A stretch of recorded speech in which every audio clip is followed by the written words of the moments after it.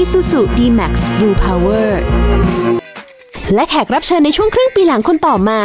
ก็คือนักร้องสาววัยใส อย่างน้องเบสวงโอลิฟที่ได้เปิดคาเฟ่เพื่อเอาใจคนรักสุขภาพ โดยเฉพาะสาวๆที่อยากจะมีสุขภาพที่ดี พร้อมกับมาแนะนำเมนูอาหาร healthy สุดสร้างสรรค์มากมาย ร้านอาหารเราไม่ได้ขายอาหารคลีนแต่เราขายอาหาร healthy คืออาหารที่ดีต่อสุขภาพค่ะหมายถึงว่ากินเข้าไปแล้วคุณจะร่างกายแข็งแรงคุณจะไม่เป็นโรคไม่ป่วยอะไรอย่างเงี้ยแล้วก็ได้คุณค่าทางอาหารครบอะไรอย่างเงี้ยค่ะมีเมนูไหนที่ขึ้นชื่อที่สุดของทางร้านบ้างเอ่ยถ้าเมนูขึ้นชื่อของที่นี่ส่วนใหญ่จะเป็นเหมือนแบบพวกคีนัวค่ะคีนัวผัดกะเพราอันนี้นะคะจะเป็นแซลมอนสเต็กกับคีนัวสลัดค่ะ นนี้เป็นไข่อบนะคะ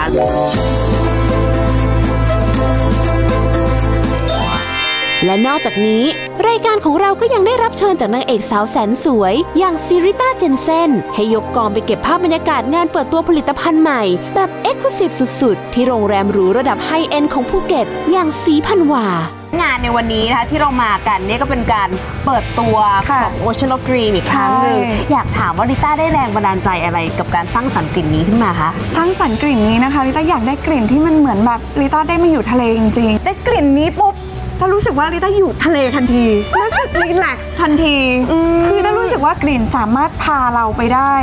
พาเราไปที่ต่างๆได้ จริง มันเป็นกลิ่นหอมของกลิ่นลาเวนเดอร์โรสแมรี่แล้วก็มินต์ทำไมงานนี้เนี่ยริต้าถึง ตัดสินใจต้องมาจัดที่ศรีพันวาบอกต้องแบบเลยเฉพาะที่นี่เลย ต้องเฉพาะที่นี่เลยค่ะริต้ารู้สึกว่าที่เนี่ยโรงแรมเนี้ยมัน luxury มากค่ะมัน exclusive มากโอ้จริงแล้ววิวที่เนี่ยที่เราจะไปจัดก็คือตรงบาร์บาเน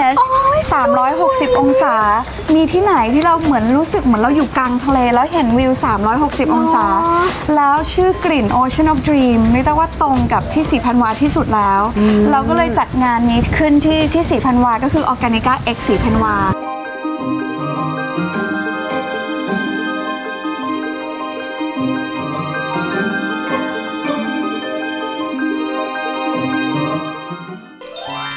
และปิดท้ายด้วยแขกรับเชิญสุดพิเศษ รองศาสตราจารย์ ดรพาทรศรีกรานนท์นักดนตรีที่อายุน้อยที่สุด ที่เคยได้ถวายงานในฐานะสมาชิกวงอสวันศุกร์ในพระบาทสมเด็จพระปรมินทรมหาภูมิพลอดุลยเดชที่ได้มาเล่าเรื่องราวประสบการณ์เปี่ยมสีสันและทรงคุณค่า ในห่วงเวลาที่ได้บรรเลงบทเพลงร่วมกับพระเจ้าแผ่นดิน พร้อมกับเล่าเรื่องราวของพระองค์ ในแง่มุมที่น้อยคนนักจะได้สัมผัส การก่อตั้งวงอออสวันศุกร์เนี่ยมันก็มาจากที่ว่า สมัยที่พระบาทสมเด็จพระเจ้าอยู่หัวในพระบรมโกศเนี่ยตอนที่พระองค์ท่านเสด็จเสด็จนิวัตรพระนครเป็นการค่ะถาวรนะครับ คือก็ทรงมีพิธีบรมราชาพิเศษกตอนนั้นก็คือปี 2493นะครับเสร็จแล้วก็ 1 ปีให้หลังเนี่ยพระองค์ท่านก็ทรง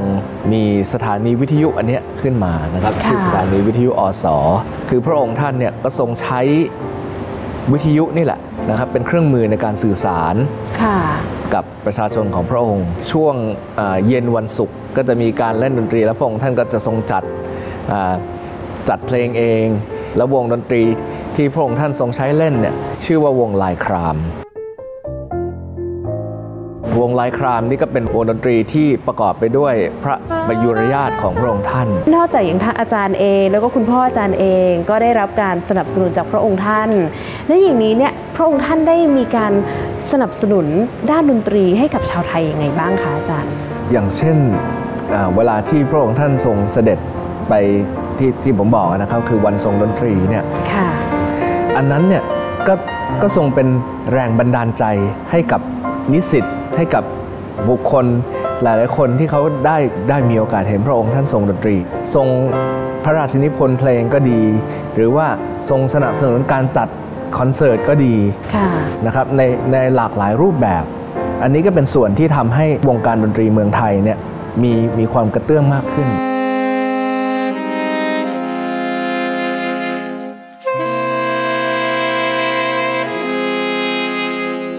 วันนี้นะคะอาจารย์ได้มาร่วมรายการกับเราทั้งที อาจารย์มีบทเพลงเพราะๆอะไรมาฝากคุณผู้ชมไหมคะวันนี้ ผมอยากเล่นเพลงแผ่นดินของเรา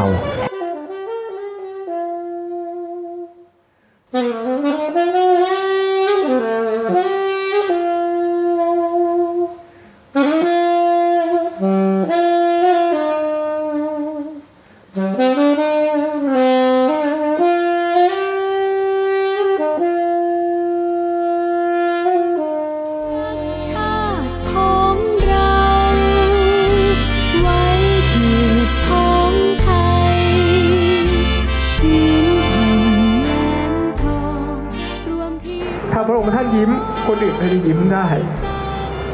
ตอนนี้ก็เหมือนกัน ก็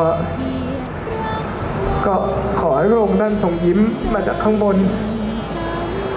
แล้วเราจะได้เดินต่อไปได้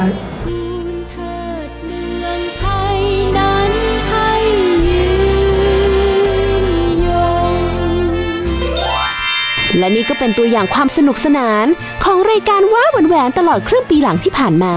และปีนี้ แหวนก็ตั้งใจจะรวบรวมเรื่องราวดีๆ และแขกรับเชิญที่น่าสนใจมาให้คุณผู้ชมได้ติดตามกันอีกแน่นอนค่ะ และช่วงหน้าแหวนก็มีความรู้ใหม่ ที่สาวๆหลายๆคนอาจจะไม่เคยทราบมาก่อนเกี่ยวกับเรื่องของคอลลาเจนจะน่าสนใจขนาดไหน อดใจรออีกสักครู่เดียวค่ะ